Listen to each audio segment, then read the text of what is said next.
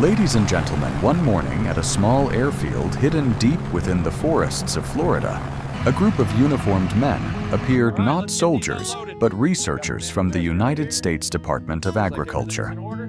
They were unloading large wooden crates from the back of a truck. Inside, those crates were dead mice. All the cargo was loaded onto a helicopter, and just minutes later, thousands of tiny furry parachutes began to fall from the sky. Each mouse was fitted with a miniature parachute soaked in toxic chemicals, drifting slowly through the air before landing among the treetops below. The sight looked less like science and more like a covert military operation. But in reality, this was a real scientific experiment that took place on the island of Guam in 2013. Now, ecologists are considering bringing it back this time to Florida, where the Burmese python, a massive invasive species, is devastating the state's fragile natural ecosystem. In 2013, on the island of Guam, a small U.S. territory in the Pacific Ocean, the U.S. government launched a campaign known as the Parachuting Mice Operation. Its single goal, to eradicate the brown tree snake, an invasive species that had completely destroyed the island's ecological balance. After World War II, brown tree snakes accidentally arrived on Guam aboard military ships. They don't kill humans, but they wiped out 10 of the island's 12 native bird species, triggering a 40-fold explosion in spider populations. The snakes even learned to climb power lines, causing widespread blackouts and threatening the island's tourism, the lifeline for Guam's 160,000 residents. Scientists discovered that brown tree snakes are extremely gluttonous and highly sensitive to paracetamol, the common painkiller used by humans. Just a tiny dose, about 1 16th of a Tylenol tablet, is enough to kill a snake within hours so they decided to drop 2,000 dead mice laced with paracetamol from helicopters over the forests. The $8 million operation was considered a success. Snake numbers fell dramatically, and bird populations slowly began to recover. Guam became a symbol of bold technological warfare against invasive species. But in Florida, the situation is far more complicated. According to recent data, the state is now home to over 500 invasive species spreading across nearly 700,000 hectares of land and costing residents more than half a billion dollars each year to control. Among these invaders, snakes and pythons pose the greatest threat. Burmese pythons, South American boas and even anacondas, once imported as exotic pets, have now become the dominant predators of the Everglades wetlands. And the most alarming part, they carry a deadly parasite called Raillietiella orientalis. This parasite attacks the respiratory systems of native wildlife, causing pneumonia and respiratory failure. Is parachuting mice the answer? At first glance, it might sound like a reasonable idea. After all, Burmese pythons do eat mice. But in reality, the problem is far more complex. Florida is home to 45 native snake species, most of which play a vital role in maintaining ecological balance. They hunt rats, frogs, and lizards animals that damage crops and spread disease to humans. If poisoned mice were dropped from the sky, that would mean poison entering the entire food chain, affecting native snakes, birds of prey, foxes, bobcats, black bears, and even the endangered Florida panther. In trying to destroy one enemy, Florida could unintentionally wipe out its own natural protectors. According to PETA, eating mice laced with paracetamol can cause liver and kidney failure in snakes, leading to a slow, painful, and inhumane death over the course of several days.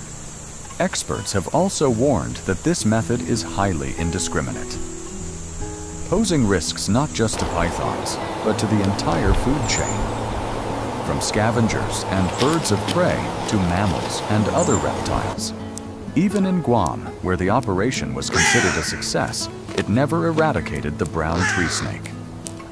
In 2020, the U.S. Department of the Interior had to allocate an additional 3.4 million dogs just to keep the program running.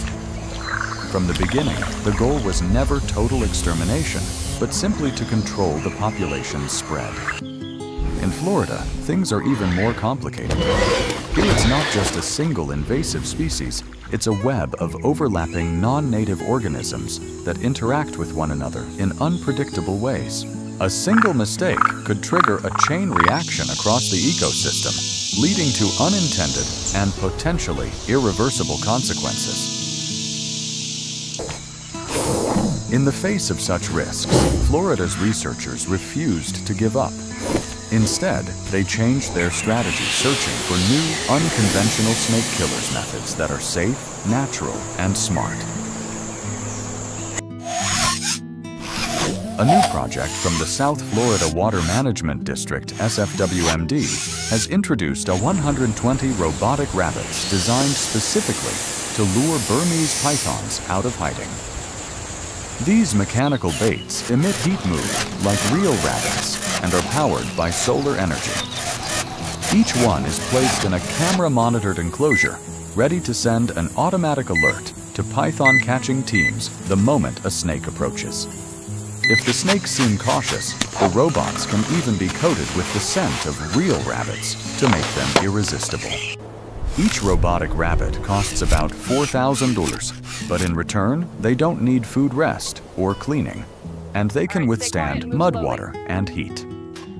The early trials have shown promising results, a glimpse of how technology might turn the tide in Florida's war against invasive predators. Drones may fail because Burmese pythons are cold-blooded animals that emit no detectable body heat. But sniffer dogs don't have that limitation. At the Florida Fish and Wildlife Conservation Commission, FWC, two black Labrador retrievers, Truman and Eleanor, have been specially trained to recognize the scent of Burmese pythons. After more than a month of conditioning with towels carrying real python scent, these two canine agents have already detected dozens of pythons hidden deep within the flooded forests of Miami-Dade County. When they catch the scent, they signal their Hold it carefully. allowing wildlife biologists to move in and safely capture the snake. Each week, Truman and Eleanor work five days straight, traversing the vast Everglades swamps, becoming the unsung heroes of Florida's ecological war. Good boy, that's it. The eastern indigo snake, once locally extinct, is being reintroduced into Florida to help restore the state's natural ecological balance. Unlike pythons, indigos are non-venomous, but they're powerful enough to hunt and eat venomous snakes. They are apex predators, harmless to humans, yet a direct threat to young Burmese pythons, the most vulnerable stage in the python's life cycle. In one documented video, an indigo snake kills and swallows a newborn Burmese python, proving that nature always finds a way to defend itself. Just last month, 42 indigo snakes were released into the forests of North Florida. This marks the ninth year of the reintroduction program, and encouragingly, some individuals have already begun breeding in the wild, a promising sign for the future of Florida's fragile ecosystem.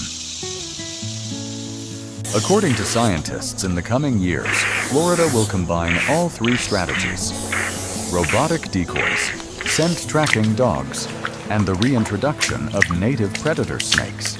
Alongside these efforts, researchers are developing genetic technologies capable of detecting python DNA in the environment, a tool that will help identify breeding hotspots and allow early intervention before populations spread. At the same time, a public education campaign is being expanded urging residents to practice responsible pet ownership and never release exotic animals into the wild. Together, these strategies represent a shift toward a smarter, more balanced form of ecological defense one that relies not just on force, but on science, technology, and coexistence with nature. More than half a century after the Guam operation, Florida now stands at the greatest ecological crossroads in its history. From parachuting mice to robotic rabbits, from python sniffing dogs to indigo snakes, humans are trying everything to reclaim the Everglades wetlands from the grip of invasive species. No one knows which strategy will ultimately be the In key this to delicate success. balance, science But one thing is wild, certain. Every experiment, nature's every invention, every creature reintroduced into the wild carries the last hope of nature itself. One day, these unusual snake killers may be the very thing that saves Florida, or at the very least helps us better understand the fragile boundary between science and life. This has been a science report from the Everglades, Florida. If you love nature, don't forget to leave a like and share this story because sometimes one simple click can change the way humans and nature coexist.